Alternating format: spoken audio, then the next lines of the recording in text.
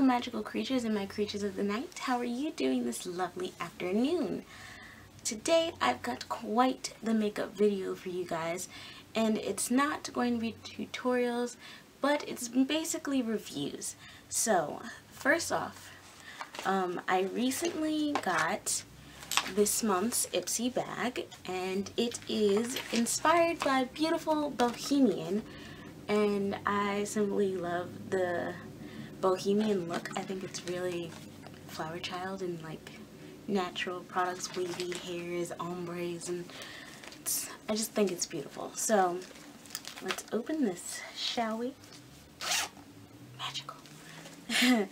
so uh, the first thing that I took out in this bag is the Ultra Light Face Lotion, which is mixed with witch hazel and lavender, which is really good. It's meant to clear, clear skin for a radiant life.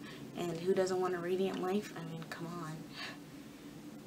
And um, it's an everyday moisturizer. So that's the first thing that came in the bag.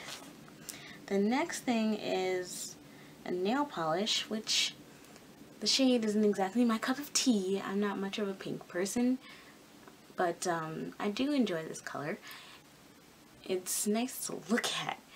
I don't know about wearing it personally. I might like mix it with some black to make it like a darker kind of color, but I still think it's a pretty cute color just in general. Uh, the next thing is a kind of sheer shimmery lipstick by Starlooks. And let me tell you, I love this. It just kind of just goes on and it's practically invisible. Like, watch this.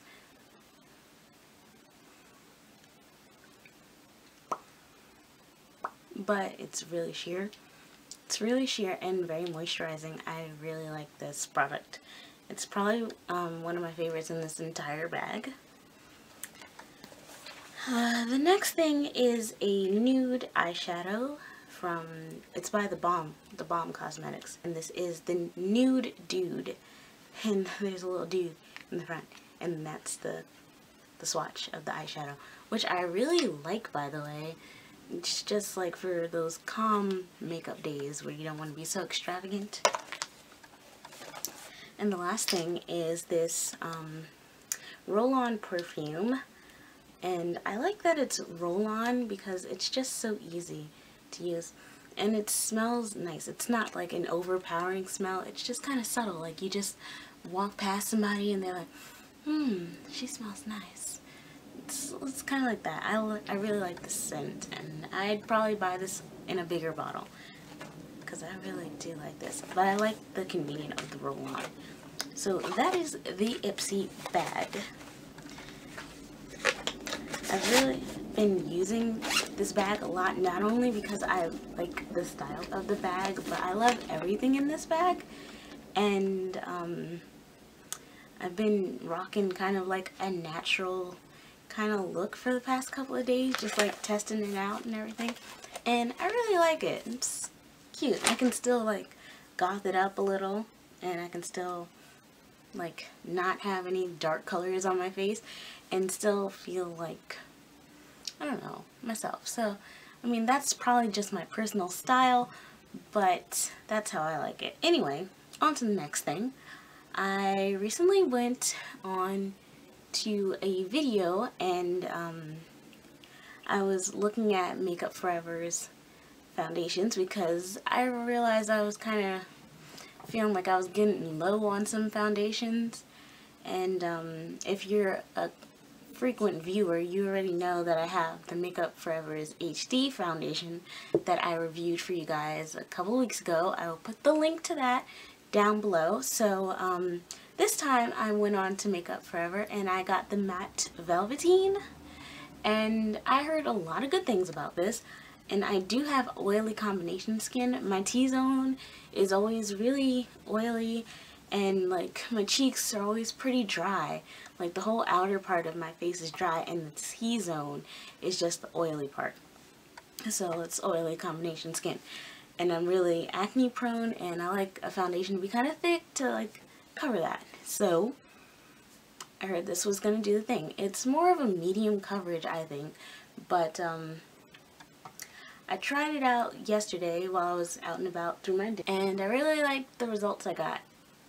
It didn't like, my face was kind of oily, but not as oily as it would have been if I was wearing an ordinary foundation. I don't get very oily with this one either, but I feel like with this one I was less oily, so that was always nice. And um, I did finish it with a finishing powder, and the finishing powder I used was the Makeup Forever HD High Definition Pressed Powder, which is a transparent powder like this.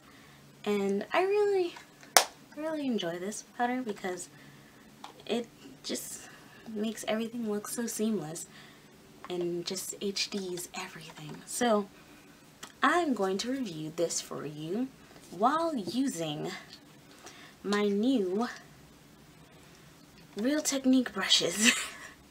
Did I tell you this was going to be quite the makeup video? Yeah. I got more surprises for you, so don't worry.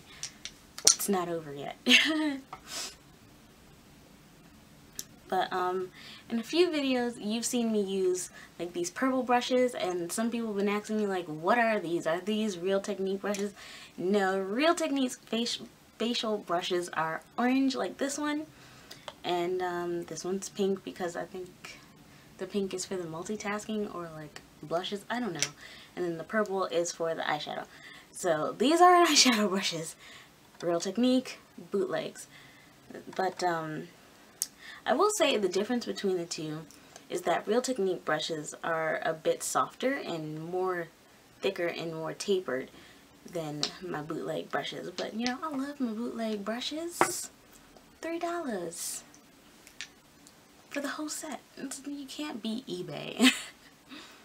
I can't even remember what seller I got them from either, so I'm sorry. But so let's get started on this bad boy, okay? Now the first thing I really like about this container is that it's plastic and it's a squeeze tube. And so I can just add a little bit of it to my hand. Take off my glasses. Take the brush and just work my way around. And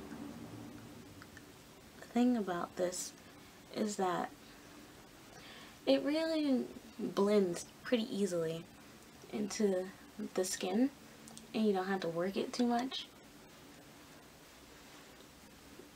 It doesn't give me like a full full coverage like I'll still have to use foundation and I mean foundation I'll still have to use a concealer but um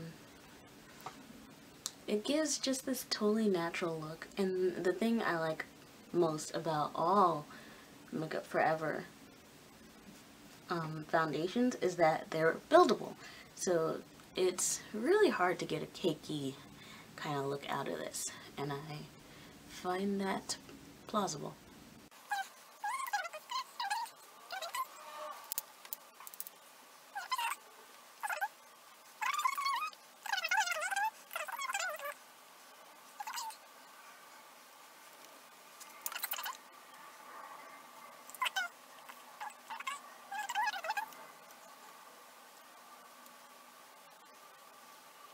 This is just one squeeze. This is just one go. And I think I did pretty well for just the one. But I'm definitely going to go over it again with a second layer for a more flawless finish. So let's go in with the second pump, which isn't going to be as much because I'm just going to take it and go over my troubled areas. So like the forehead and my cheeks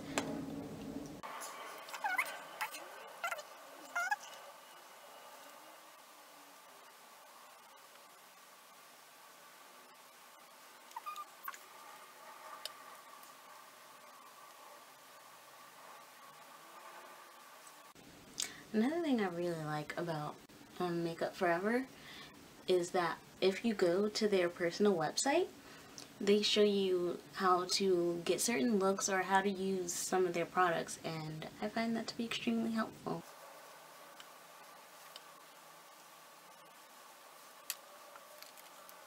Okay, next, buff it in with my bootleg foundation brush. Hmm, just doing quick tappy motions. Get the seamless look.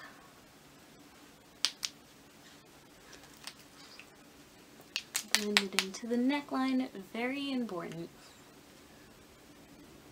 You don't want to just look like you have on some kind of weird face mask, right? Blend for your life, honey. Blend for your life.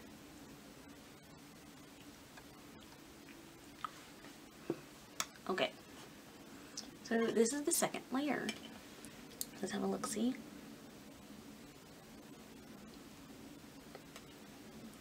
Pretty, pretty good.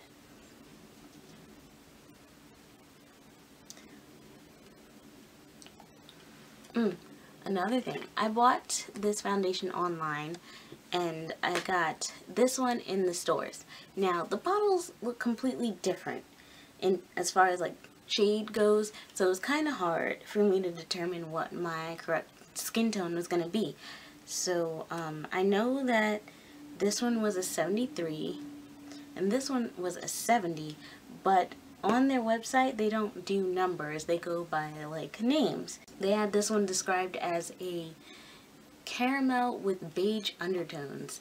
And I was looking at the little swatch that they have on it on the website and I thought that looks kind of like my tone like it kind of looks like the bottle of this the other one so I was like alright sure I'll get it if anything if it doesn't match you know I'll just return it and get the next color if it's too light that worked for me.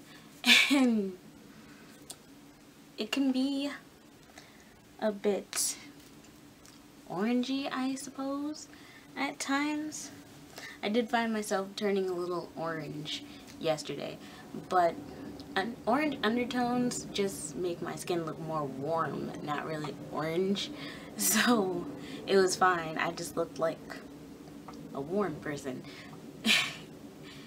with this one I actually have to add like an orangey kind of undertone to it with my um, Garnier's BB cream in deep yeah with that and um, I don't think I have to with this one because it does fine by itself so I like it I really do and um, now we're just gonna set it with the HD and you guys tell me if you notice if I go from like flat face to like dimensional or something. Okay, so let's see. Give it a nice tap. And on the website they say you just roll it onto the skin to get the flawless. But I kind of roll and pat. I don't know. That's my thing. Because if I just roll it, it doesn't really blend. So the white kind of residue just kind of like stays there on face and I'm just like, eh, I look like the ghost of Christmas past, which is not at all the look we want to go for. So, I do patty motions, just slightly setting it all over. Mm hmm So, I did that. Do I look HD to you. Okay, so my little creatures, that is my official review on the Makeup Forever Ve Matte Velveteen and the Makeup Forever HD Press Powder. And my final review, now that it's been a couple minutes and like everything's set and all that stuff, and I did like the rest of my face, as you can see did the rest of my face. I, um, I really quite enjoy this. Uh, this is a new lipstick. I got the Kat Von D studded lipstick recently and um, it's cute but I'm not much of a fan because it kind of um, it kind of rubs off. I don't know maybe it's just because it's new now and you know the glossiness on top or the preservatives on the top layer are like making it defective, but we'll see how it goes over the span of a couple of weeks. I'll give it another try because I really like her blushes, And I know she knows her stuff about lipsticks because she's always wearing lipsticks. So I'm going to give you some time.